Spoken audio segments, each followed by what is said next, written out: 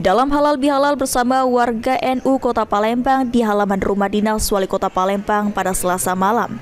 PJ Wali Kota Palembang Ratu Dewa mengaku senang karena momen ini bisa menjadi media untuk membangun sinergi bersama NU dalam rangka menyelesaikan masalah keumatan, meningkatkan pemerintahan dan pembangunan kemasyarakatan guna terciptanya suasana yang kondusif, aman dan tentram di Kota Palembang.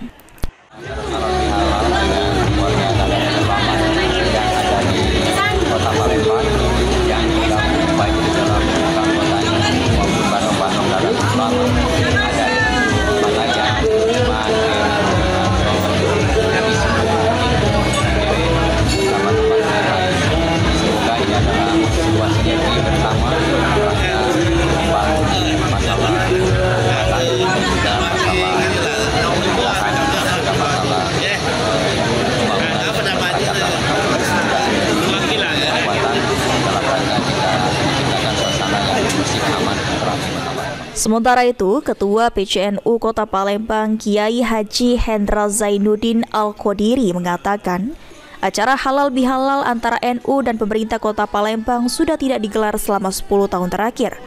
Melalui momen ini, Nadatul Ulama mengajak masyarakat untuk datang ke TPS dan menyukseskan bersama pilkada yang akan dilaksanakan pada tanggal 27 November 2024. Malam ini uh, luar biasa ya, uh, dan bagi kami, bagi warga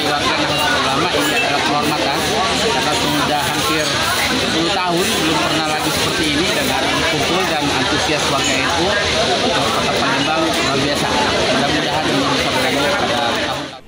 Ilham Wahyudi, Pal TV.